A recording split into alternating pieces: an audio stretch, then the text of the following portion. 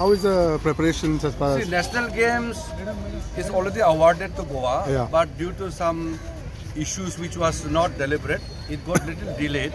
But now the new chief minister, Dr. Pramodji, has already taken up in a war footing. Preparations are going on in full scale. I, I'm taking a review meeting also today, and we will ensure that the upcoming national games in Goa would be one of the best ever national games in India.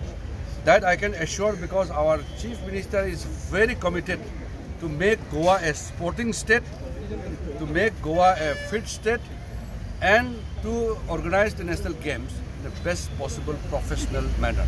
I'm very happy to have such chief minister, and from the uh, government of India's side, I will extend full cooperation to the Goa state for organizing the national games. as far as funding and all whatever the state We will government do whatever is to be done. National games are funded through the finance ministry. if, if more required sir we will work together. We will work together. okay thank you